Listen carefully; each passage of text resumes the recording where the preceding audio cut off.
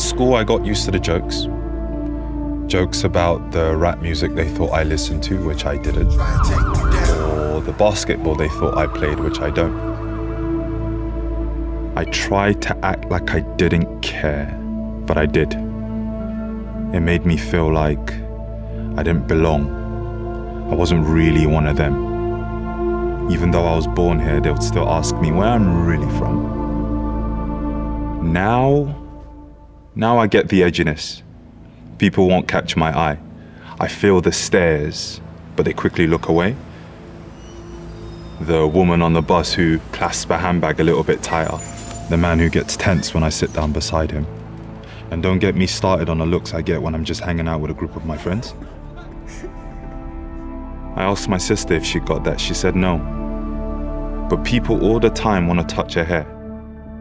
As if that's okay, right? In a professional context, when I get introduced, there's a faint look of surprise. And when we were up before a promotion board, one of the other guys said, At least you can always play the race card. And people say that. They try pass it off as a joke. But there's an edge, you know?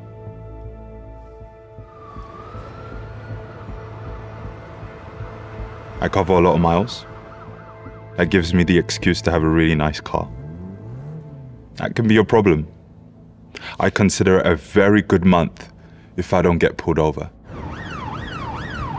I'm thinking of getting my documents tattooed across my forehead to save time, officer. You know, there's people that actually say to me, surely that color stuff doesn't actually matter anymore. Not today.